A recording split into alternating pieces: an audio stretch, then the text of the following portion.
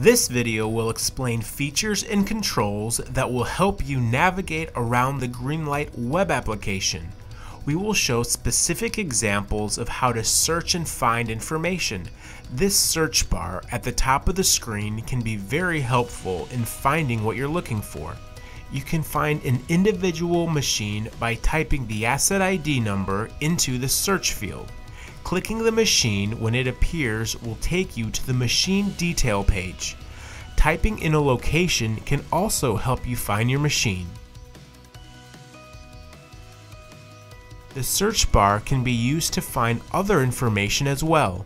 Clicking whatever appears in the search bar will take you to that page. You can use the search bar to find an item in your product inventory.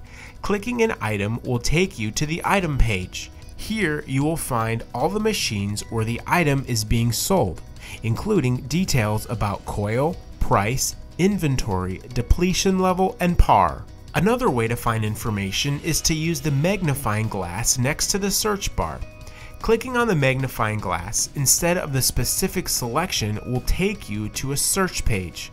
Here you will find more information about the object of your search, all in one place. These columns display the UPC code, the item name, the manufacturer, and the category. Click the UPC to go to the item page.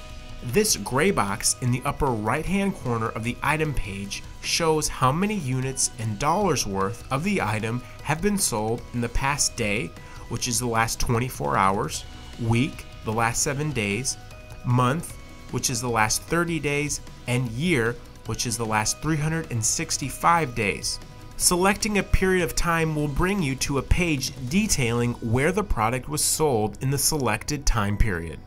Use the headers in the columns to sort the information in ascending or descending order. Click on an asset ID, customer, or location to go to their specific page.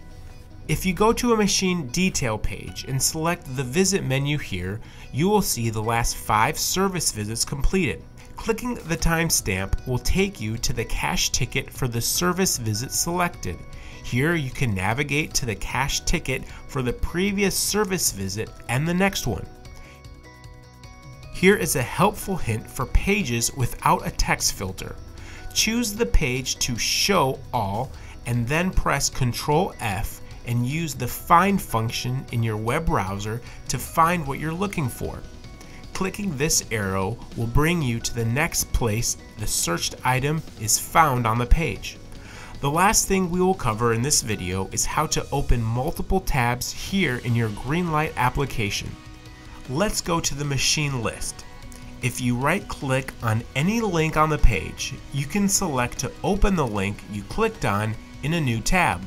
This is helpful if you want to research something in the Greenlite application, but you want to keep yourself anchored on a certain page. For more assistance, contact Vendnet at 1 800 833 4411 or email service at vendnetusa.com. Thanks again for choosing Greenlite.